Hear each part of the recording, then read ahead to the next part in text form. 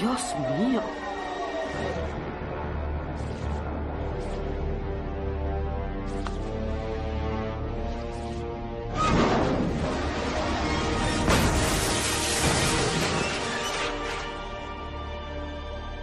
Luisa, hola, yo... Creo que no volveré a llamarte pueblerino.